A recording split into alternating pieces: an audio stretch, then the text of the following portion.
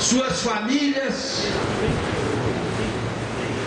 Nós estamos aqui num conjunto, governador, num conjunto que é formado por produtores e suas famílias.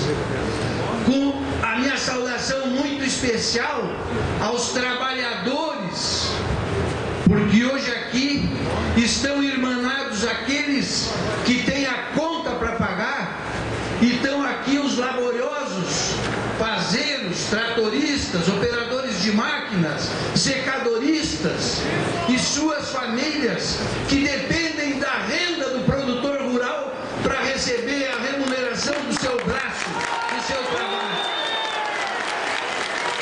A minha, a minha saudação aos fornecedores de insumos, aos técnicos agrícolas, agrônomos, pesquisadores, que esse conjunto de pessoas que constrói nós gaúchos e os catarinenses 75% do arroz produzido no nosso estado.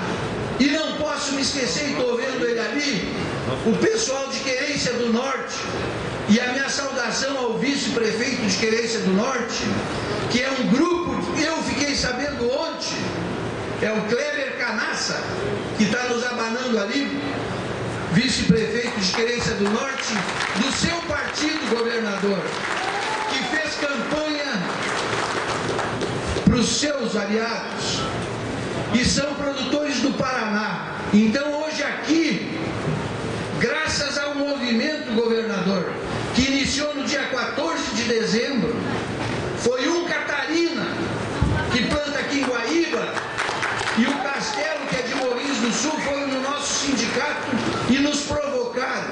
Nós estamos quebrados, vocês não vão nos ajudar a fazer alguma coisa? E ali surgiu um movimento que nós colocamos um nome, porque o produtor estava depressivo, o produtor estava de cabeça baixa, e nós botamos o nome do movimento Te Mexa, Roseiro. E até a propósito disso, está aí um site que nós estamos abrindo, pessoal vira a faixa para lá, faz favor. Isso aí, a ditadura no Egito caiu em função da internet. E eu não estou pretendendo, governador, nem derrubar o governador, nem a presidente Dilma. Eu estou dizendo que nós temos que usar esses novos modelos de comunicação para nos, nos agitar e se mexer. Eu quero saudar, eu quero saudar essa mesa de autoridades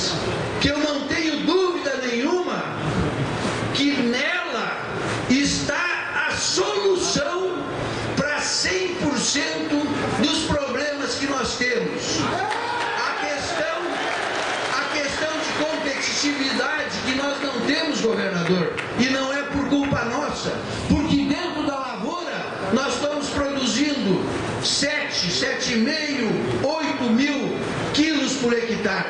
Nós não temos competitividade para enfrentar o mercado internacional. O tempo está esgotado. Eu vou pedir desculpa às pessoas que compõem o cerimonial e que compõem a plateia e as autoridades, porque a nossa situação é muito maior que o tempo. Eu tenho certeza, eu tenho certeza que onde nós pegar o Batatinha, presidente do IRGA, o Mainarte, secretário da Agricultura, o Tarso Genro, nosso governador, e o pessoal que representa, o Ayrton Espias, que representa, está aqui o Ayrton, que representa o governador de Santa Catarina, e o Canassa lá do Paraná, hoje esse pleito não é dos arrozeiros gaúchos, hoje esse pleito é do 75% do arroz brasileiro e estados nessa luta.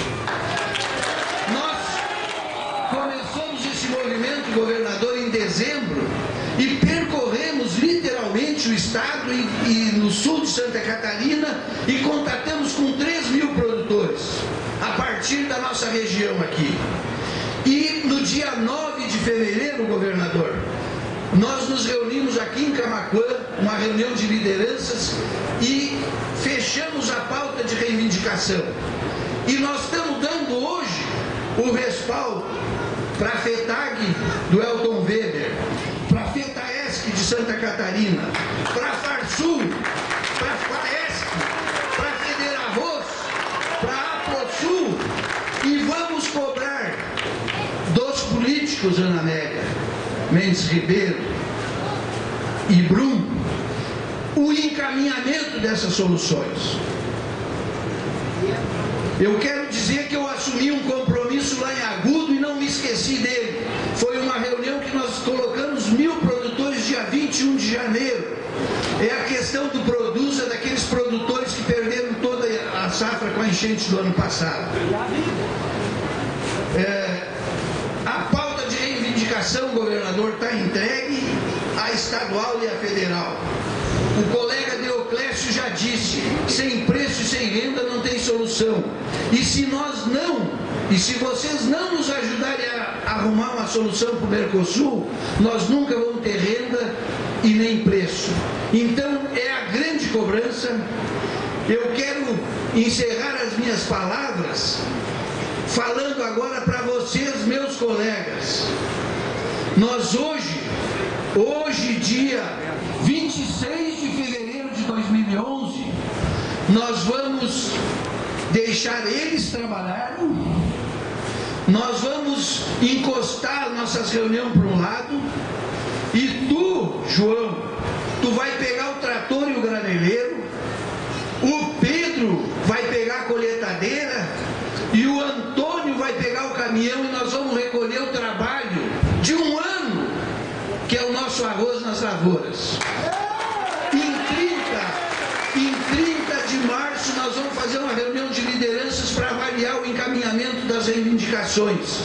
E daqui a exatamente dois meses, nós vamos nos reunir na nossa querida cidade de Restinga Seca, dia 26, 26 de abril, cada um que já se programe,